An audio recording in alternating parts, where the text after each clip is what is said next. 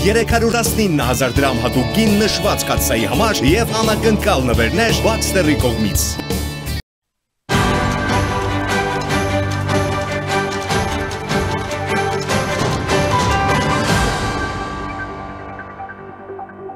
Հետևում են գլխավոր զարգացումներին առաջին լրատվականի եթերում օրվա գլխավոր թեման հետևյալի մասին է։ Հայաստանի վարչապետ Նիկոլ Փաշինյանը Թուրքիայի նախագահ Ռեջեփ Էրդողան այսօր հերախոսազրույց պետք է ունենան թուրքական կողմի նախաձեռնությամբ։ Մինչ այս պահ հերախոսազրույցի կայացման վերաբերյալ որևէ պաշտոնական տեղեկատվություն չկա։ Երեք Նյու Դելիում Թուրքիայի նախագահն էր հայտնել, թե մտադիր է հերախոսով բանակցություններ վարել վարչապետ Նիկոլ Փաշինյանի հետ։ Տարածաշրջանում կայունությունն այլընտրանք չունի, բայց քայլերը, որ արվում են այժմ Ղարաբաղում ճիշտ չեն, դրանց հետ անհնար է համաձայնվել, ասել էր Էրդողանը։ Նա արդեն զրույց է ունեցել Ադրբեջանի նախագահի հետ։ Թուրքիայի նախագահը Հնդկաստանում նաև բանակցություններ էր վարել Եվրամիության խորհրդի նախագահ Շարլ Միշելի հետ։ Ի թիվս այլ հարցերի քննարկել նաև Հայաստանի եւ Ադրբեջանի միջև ստեղծված իրավիճակը։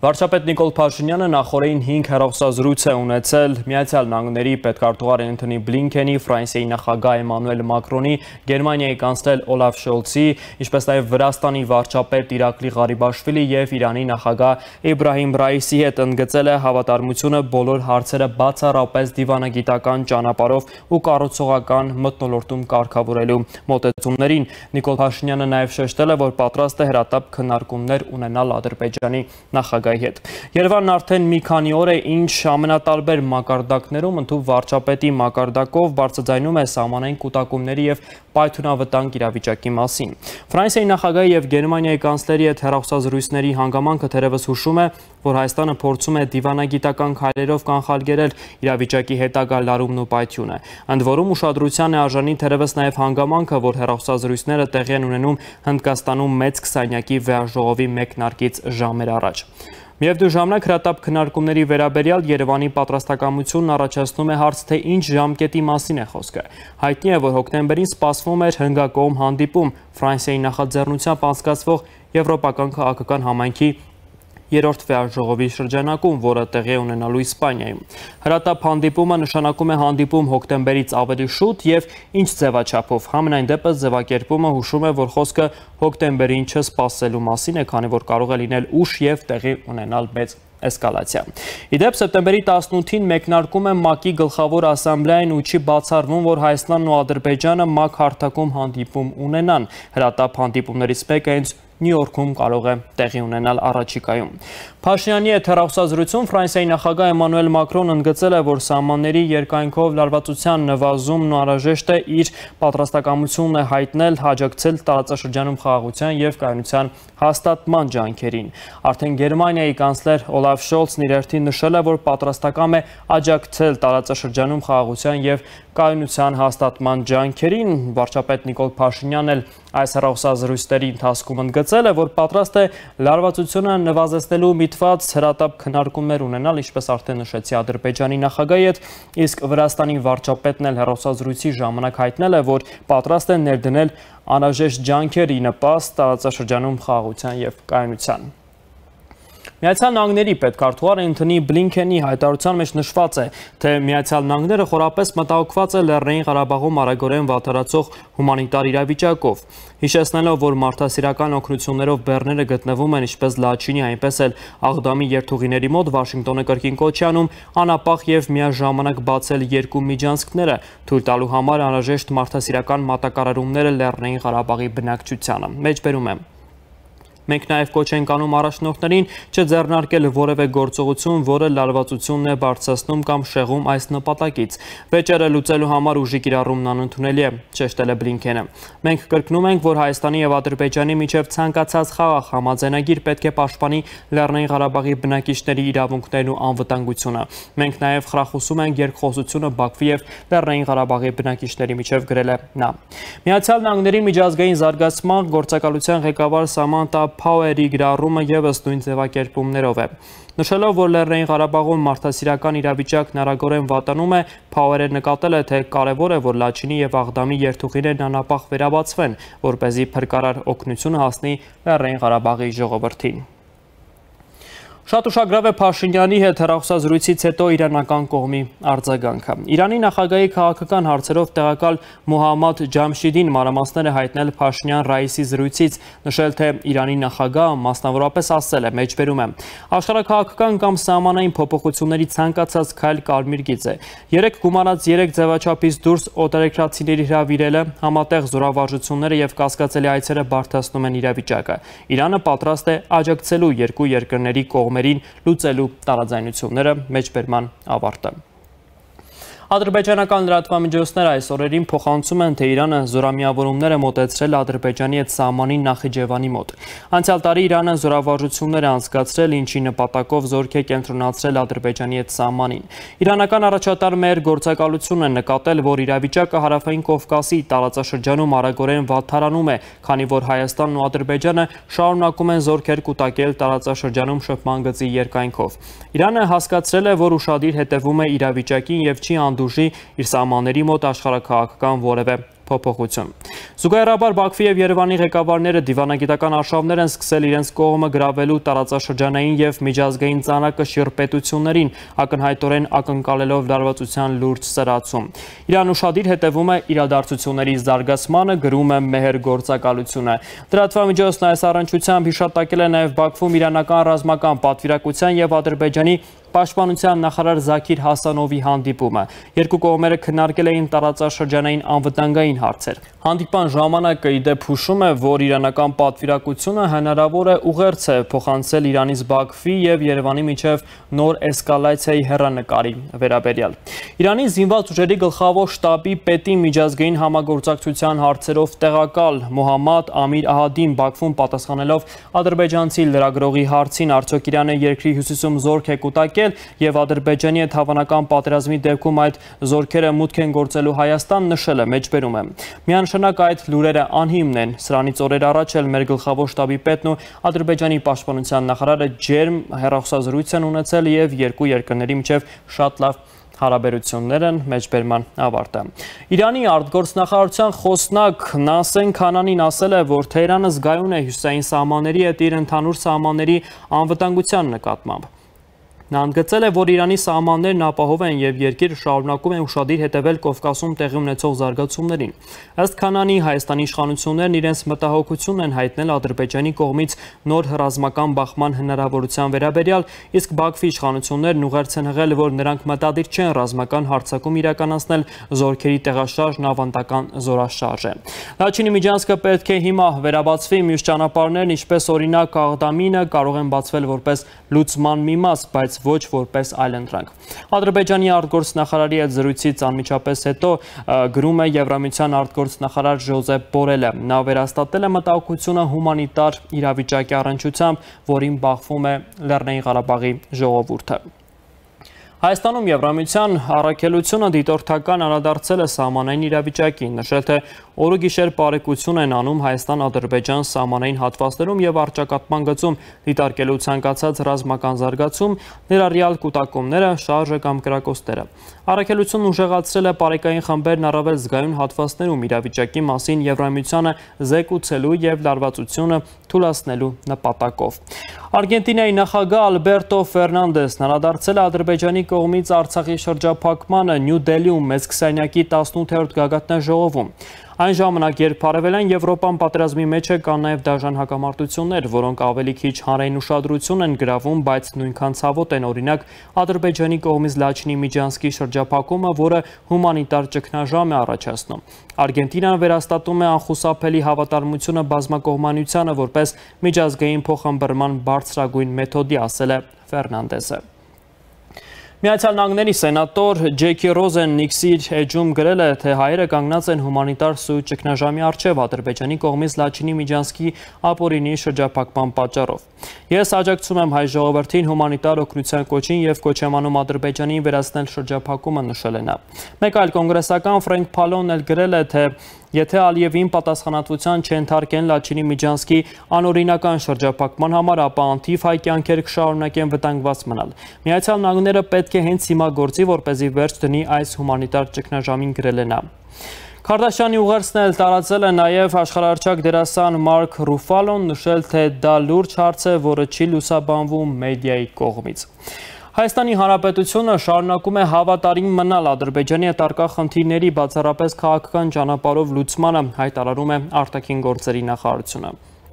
Ըստ այդմ ամբողջովին կեղծ են Ադրբեջանի կողմից տարածվող հայտարարությունները Հայաստանի կողմից ցանկացած հնարավոր սադրանքի մասին։ Հայաստան իրավիճակի էսկալացիայի որևէ մտադրություն չունի, ճիշտ հակառակը շարունակում է բաց լինել իր կողմից նախկինում առաջարկված դեսկալացիայի մեխանիզմների քննարկման համար ընդգծել է Հայաստանի արտաքին քաղաքական գերատեսչությունը, հրավիրելով տարածաշրջանի կայունությամբ շահագրգռված բոլոր գործընկերների ուշադրությունը, որ Հայաստանը պատրաստ է այս ուղղությամբ առաջին իսկ պատե հնարավորության դեպքում շարունակել Ադրբեջանի հետ քննարկումները։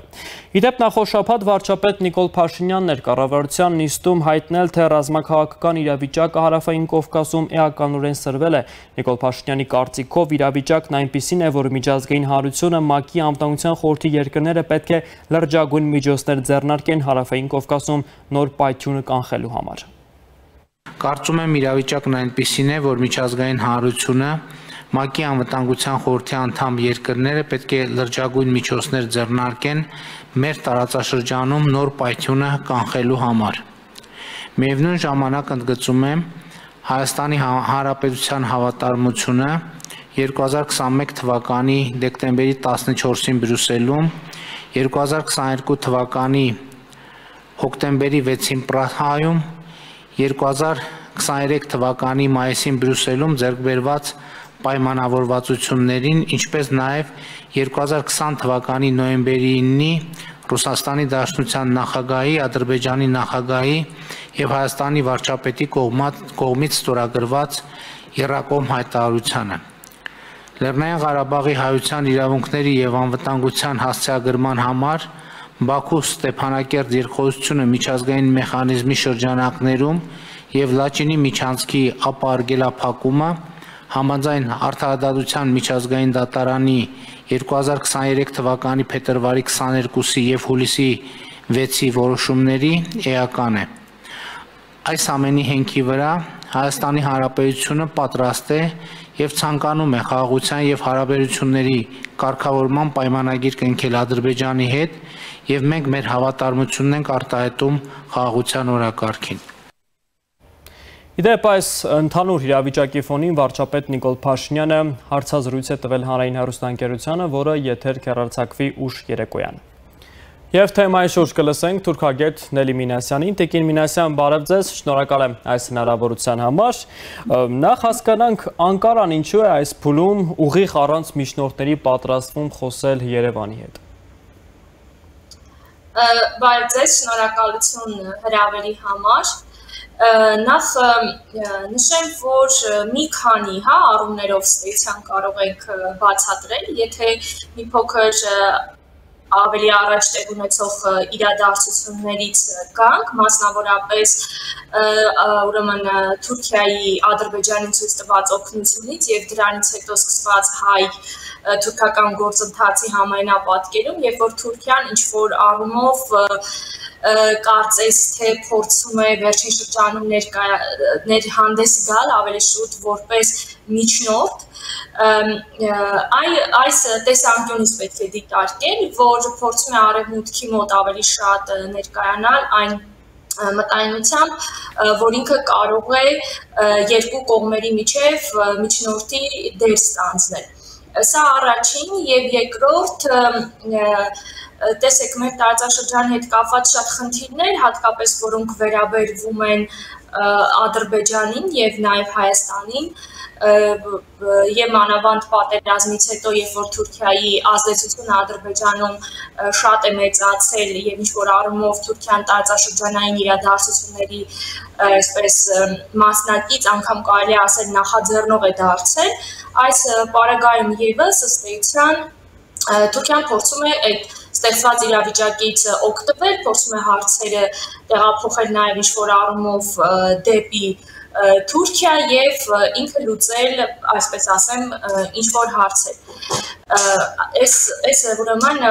համապատկերում պետք է դիտարկել խնդիրները։ Դուք Տիկին Մինասյան պատական եք համարում, որ Էրդողանը վարչապետ Նիկոլ Փաշինյանի հետ խոսելու պատրաստակամության մասին հայտարարեց, երբ Նիկոլ Փաշինյանը հերախոսազրույց ունեցավ խոշոր դերակատարների, Միացյալ Նահանգների, նաև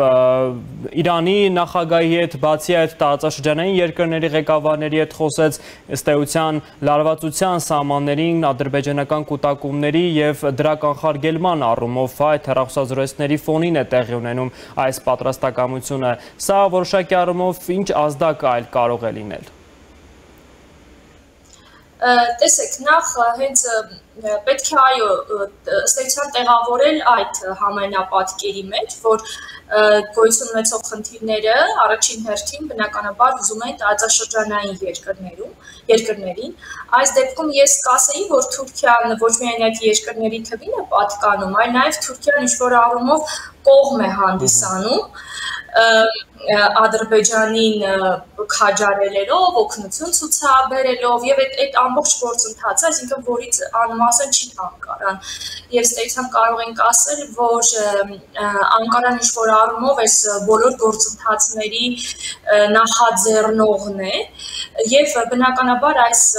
համայնապատկերից ելնելով փորձում է իր դերը այսպես գործողությունները ուրեմն ընդգծել մեր տարածաշրջանում հարավային Կովկասում։ Եվ այստեղ քանի որ խնդիրները հիմնականում կապված են Ադրբեջանի եւ Թուրքիայի հետ եւ ստեյցիան նրանք միասնական ճակատով են հանդես գալիս մեզ հետ կապված խնդիրների, խնդիրներում եւ շատ հարցեր էլի կրկնում եմ գտնվում է շատ հարցերի պատասխաններ գտնվում է Անկարայում եւ բաց այդ տարածաշրջանային այսպես բոլոր տեսակի իրադարձությունները ստեյցիան տարածաշրջանային առաջին հերթին տարածաշրջանային երկրների հետ փորձ են լուծել եւ Թուրքիան ցուցաբերում է այդ ուրեմն մոտեցումը։ Այստեղ իհարկե երկրորդ առումն էլ ես կարող եմ նշել։ Այսօր քանի որ ավելի արևմուտքի հետ կապված ավելի շուտ արևմուտքը փորձում է իր գործողությունները ակտիվացնել մեր տարածաշրջանում եւ բացի այդ տեսեք պատահական տեղ չհայտարարեց Էրդողանը այդ մասին, 20-ի ելույթի ժամանակ հայտարարեց սա այ այդ միտքն է, որը որ ես սկզբից նշեցի, որ իրեն ինքը փորձում է ներկայանալ այն այսպես այն դերում, որ կարող է միջամտ ավելի շուտ միջնորդել երկու երկրների միջև խաղաղության այսպես գործընթացին կամ ընդհանրապես ինչ որ գործընթացին եւ այդ կողմը Եվ այդ գործառույթը ստեյցիան ընդունի նաև Հայաստանը, բնականաբար Ադրբեջանը դա կընդունի եւ տեսեք ինքը այսպեսի հայտարարություն է անում նաեւ հաջորդ քայլի համար իսկ հաջորդը մենք գիտենք դա արդեն Նյու Յորքում ՄԱԿ-ի համաժողովն է որտեղ նա ես վստահ եմ կրկին հանդես կգա այս բոլոր թեզերով բայց այդ մի հետաքրքիր դիտարկում ևս անեմ ինքը նույն այդ Ջիքսանի ժամանակ է ելույթում խոսում է չէ ավելի արդար աշխարհի